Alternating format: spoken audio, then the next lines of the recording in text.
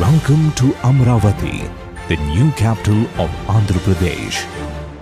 This is the government's dream of Amaravati, a modern capital to be built from scratch. Of navigable canals, metro rail, BRTS, high speed rail. Most of all, it's seen as having pioneered a new model for getting land without the drama and delay of the Land Acquisition Act. Part of this journey in creating Amaravati, a world class city. But not all is well in the making of paradise. This is the Amaravati we see today.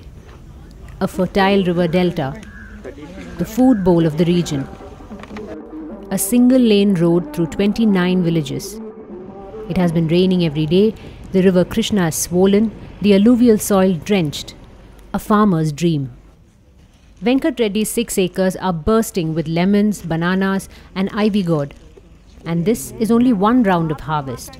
He'll grow three more of paddy, turmeric, drumstick, chilies, and Bengal gram, making at least one and a half lakh rupees a month on average. Venkat Reddy finds it ridiculous to give up this multi crop land for a city he can't imagine. But saying no to the government has not been easy.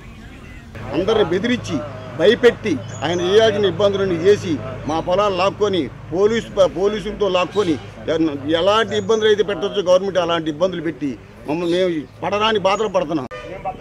Venkat Reddy is one of a few hundred farmers from five villages refusing to give their land up for Amaravati.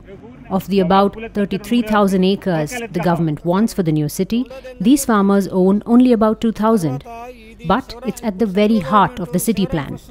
A small but strong rebellion.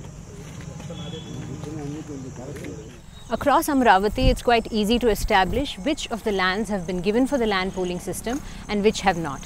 For instance, this land has been uncultivated for the last two years because this farmer decided to give his land for the pooling in 2015 and that means he cannot cultivate on it since then. On the other hand, this farm still has vegetables growing on it because the farmer decided not to give his land for the pooling system. This is a visible marker also of another thing that is the trust that people place on the government. While this farmer trusts the government, this farmer does not. Shiv Prasad Reddy liked the idea of being part of a new city until he felt shortchanged by the pooling process. In his six acres, he usually grows banana black gram maize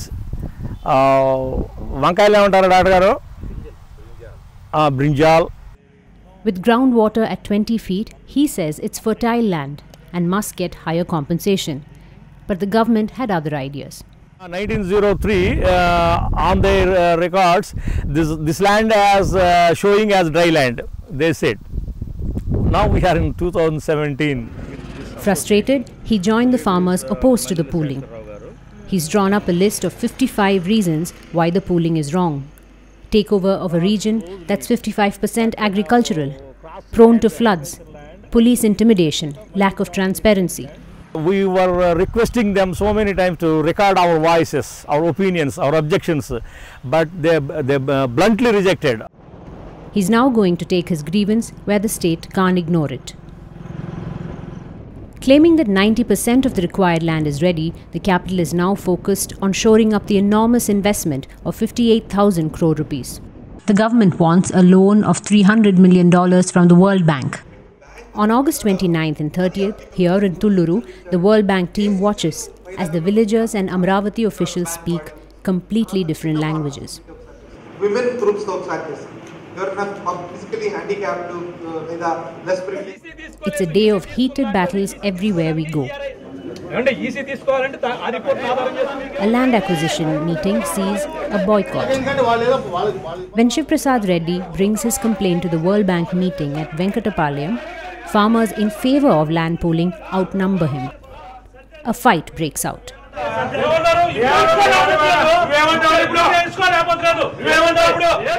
ఈ ninety eight percent ఎప్పుడైతే ఇచ్చారో వాళ్ళ rate కూడా increase అయింది. పాతిక వేల ఎకరాల్లో భూమి ఇంక్రీజ్ అయింది. తొంభై తొమ్మిది పర్సెంట్ ఇచ్చిన ఇరవై ఎనిమిది వేల కుటుంబాల్లో లక్ష మందికి హాని చేయకూడదు. Sudhakar Rao gave 40 acres to pooling. It's large scale farmers like him who've helped Amravati pool 90% of the land it needs. Rao's children are doctors abroad. he will be the last farmer of his family. By selling his land, he says, he's simply taking care of his next generation. Farmers were able to trust the 35 year Amaravati dream, seem to have economic security. And in Andhra Pradesh, economic security also comes from caste and party affiliation. Most affluent farmers who've pooled their land are Naidu's, just like the Chief Minister. They're traditional voters of the ruling Telugu Desam party. The anti-pooling farmers are largely Reddis and Kapus, supporting the YSR Congress, BJP or other parties.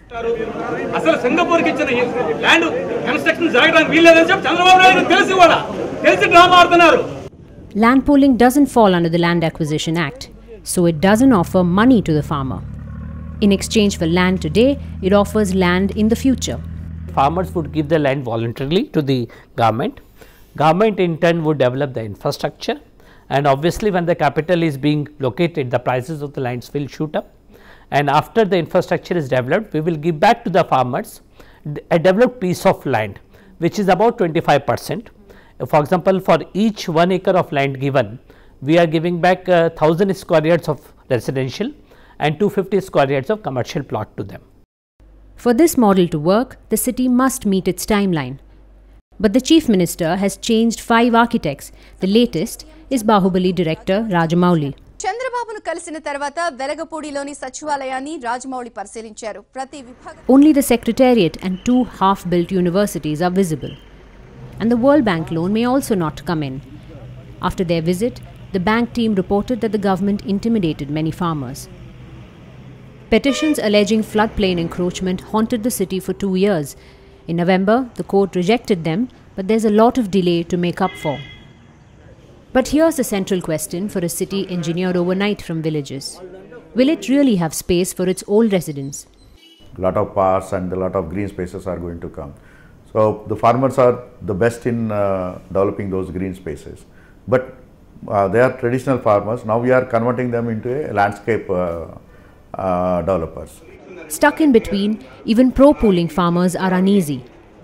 Will Amaravati come up at all? And if it does, what will they do in the paradise of global companies, IT jobs, glass, and steel?